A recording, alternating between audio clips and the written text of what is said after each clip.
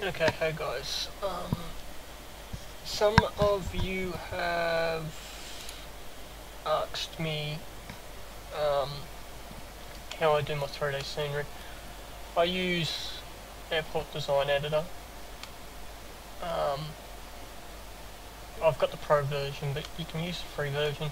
Just have the Pro because of the license key for the Pro because it gives me a couple extra features I use a bit, like helper shapes and all that. But you can get a background image in Scene Editor uh, using Scene Edit or whatever it is. Um, uh,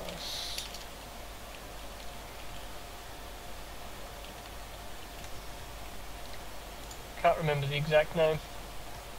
It's on my desktop somewhere. But it's there it is, let's build up X. So to get this back and back image, open up SBuilder X or download it. Tell it you want a new one or the like. Tell it you want to show the background and you'll have to update the tile server and the like to grab the tile you want. So in this case we're going to double click drag this way which should get us hopefully yeah, it got us to the edge of the Suez Canal. So okay, Australia. Normally you'd do it from within Flight Sim, it just speeds things up. Especially given you can just connect it and have it spit you out wherever. But let's say we were going to grab Wellcamp, which is where I am at the moment. Um, we basically have to find Brisbane, which, or Toowoomba or the like, which should be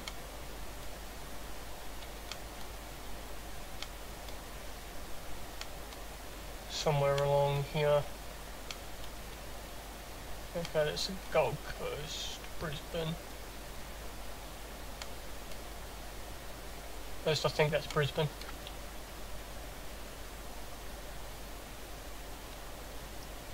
If there's an airport just to the north here, it's Brisbane.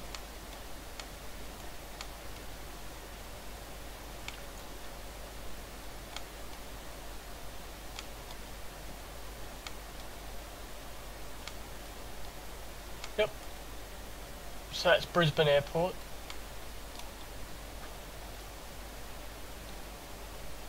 Wellcamp is down here somewhere. There's Amberley.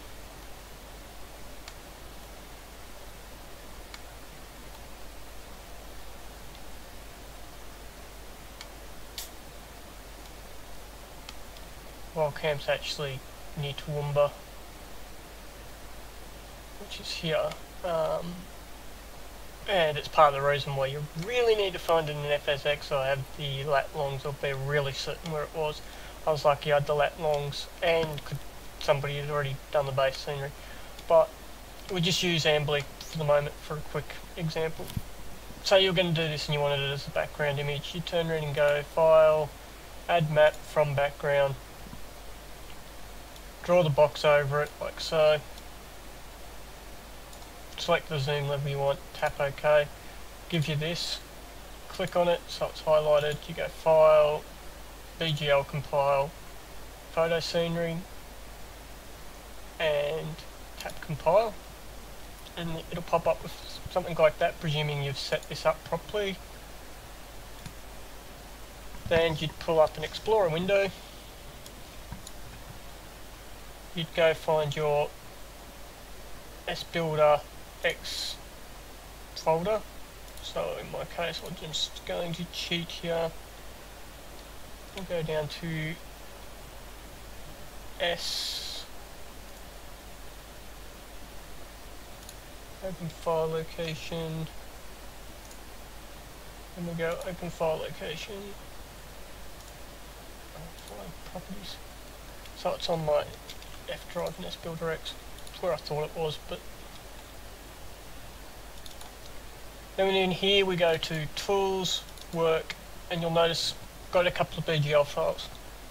If we view these as Uh, large icons, you can see that they're photos. If we look at this one, you'll see this is actually WellCamp. But this one here, Alex, is Amberley, and if we look, we've got a text file of the same name. It's got some lat longs, north, south, east, west. Same with the WellCamp ones here. So, what do we do with that? Well, we go into here, we right click, we go add image, we give it the, we point it to the file, in this case, this one here, actually we'll point it to this one, seems it's not already in, tell it we've got corner coordinates, and this one is actually this set here. So, north is the top left,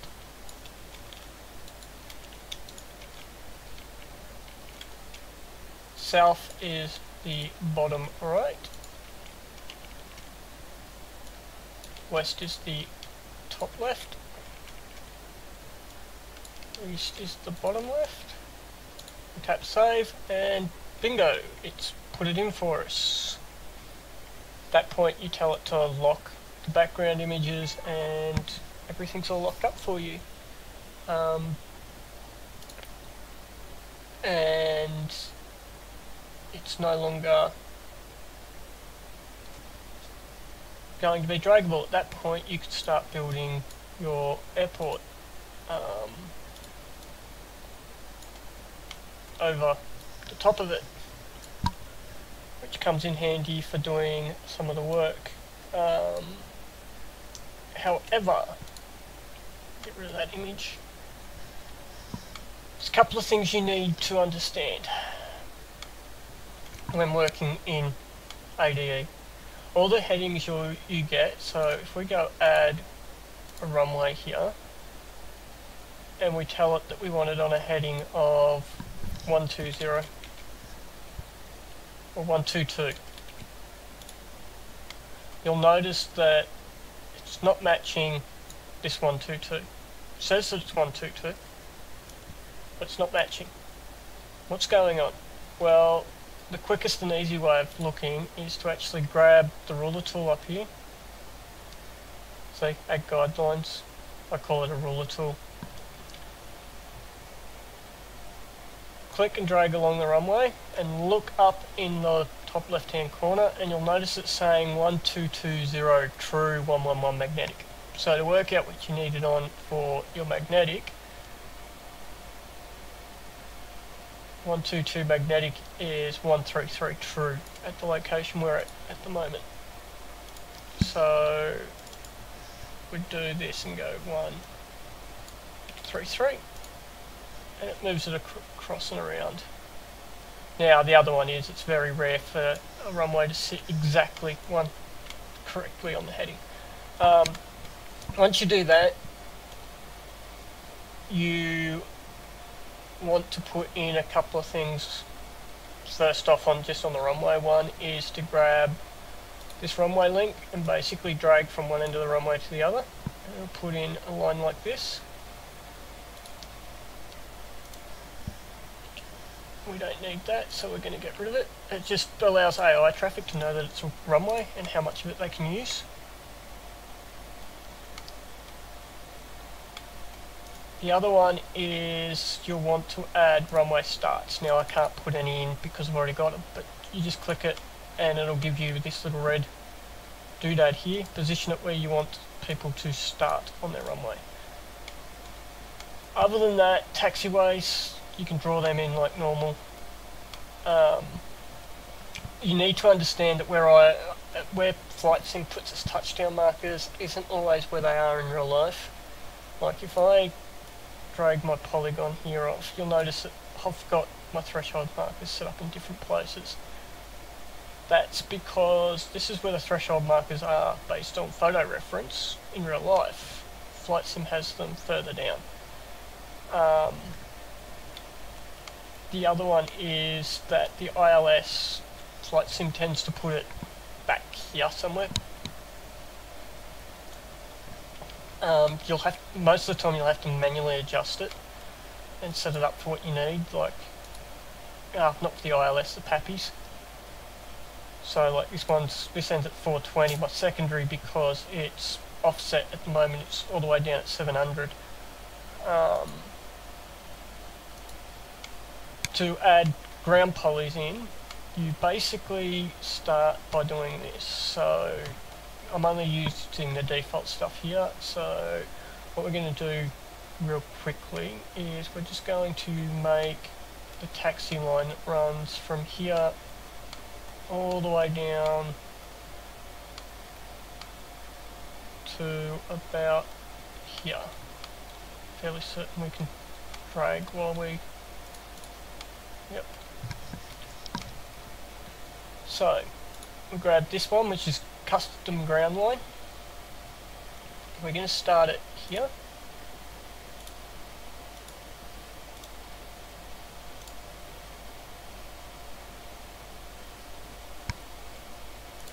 Now normally you would actually have the proper apron taxi lines that you could follow. Unfortunately for me. At the moment Camp doesn't have any photos from top down on any available source that um, you can use to easily trace.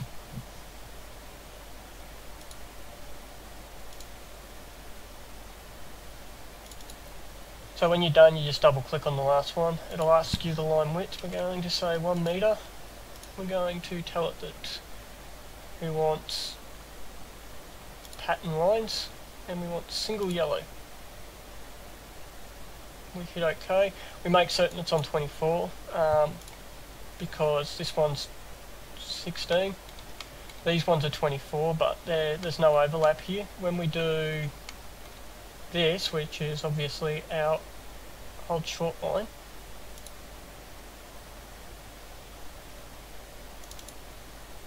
We're going to set this to 25, which is above 24.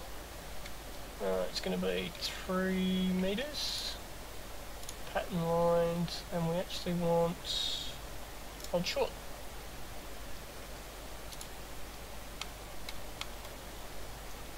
Do the same here.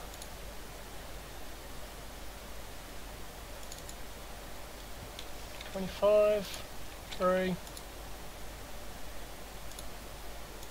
hold short. Now there is the chance that you will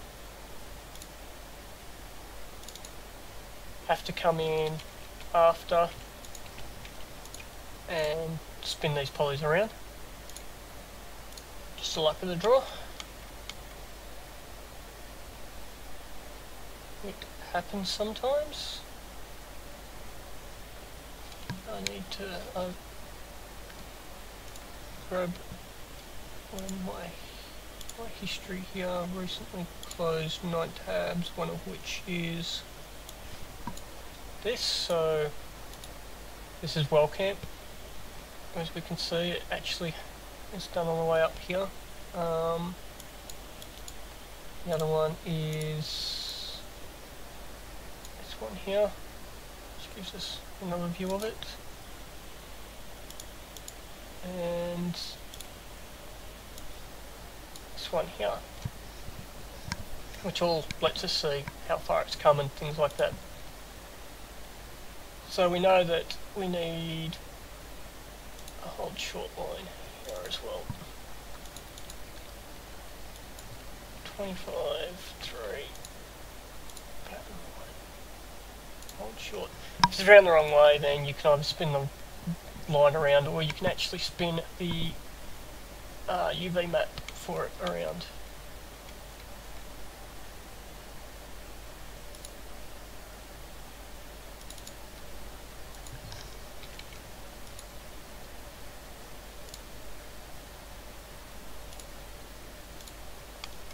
The other one we're going to do is we need a nice thick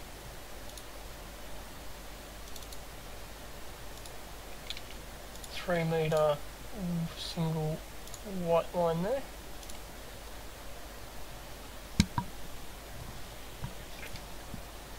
And if we flip back and look at our images just now, I did have another one showed this part better, but I can't find where it's gone. Um, we need to change this for now just to basically bitumen. So we've got a ground poly on 17 and one on 16, which the 16 one is actually our runway. but we need, this section's actually in real life darker than the runway. So what we'll do is we'll click here, we'll click here, here, and here. I'm going to put this on 18, and we'll just select asphalt dark. Clap OK, there's that part done.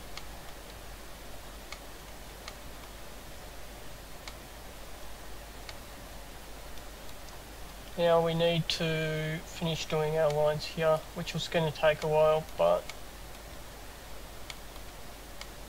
I'm not going to record that.